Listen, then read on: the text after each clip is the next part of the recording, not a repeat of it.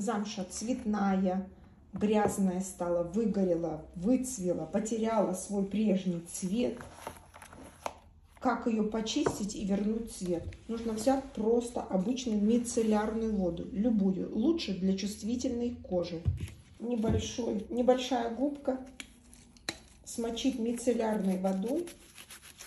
Не сильно надо смачивать а, губку мицеллярной водой и почистить, дать высохнуть.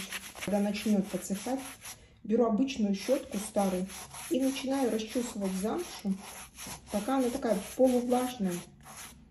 Весь ворс поднимется, она не прилипнет. Действительно очень чистая, темная замша, которая просто очищается идеально от мицеллярной воды.